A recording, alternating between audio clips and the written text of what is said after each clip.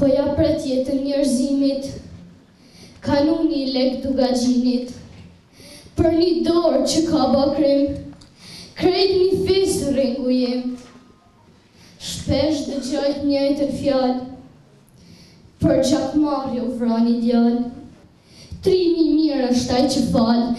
Njëqind vjet Shqipnia shtet. Ndal me i thanë dorës që vret.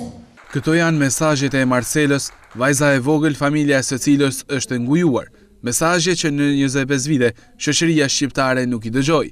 Poezia e Marcelës erdhi në sallën e Kishës Ungjillore gjatë një aktiviteti festiv dhe me dhurata, të organizuar nga OSHE, me fëmijët që vuajnë nga gjakmarrja.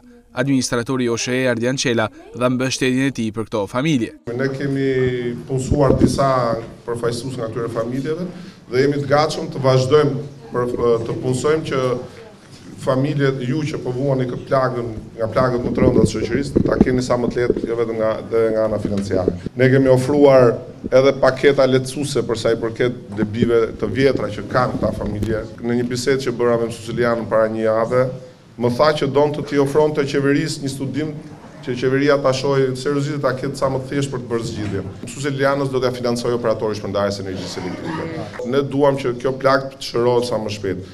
Ministri i Jashtëm Ditmir Bushati falënderoi nënat që sollën fëmijët që qëndrojnë të ngujuar në këtë aktivitet festiv. Në radhë të parë doja t'ju thoja që jeni të gjithë të mrekullueshëm dhe do dojsha që të falënderoja nënat që janë këtu me ne, për me bo gjithashtu edhe një apel publik kundër këtij fenomeni.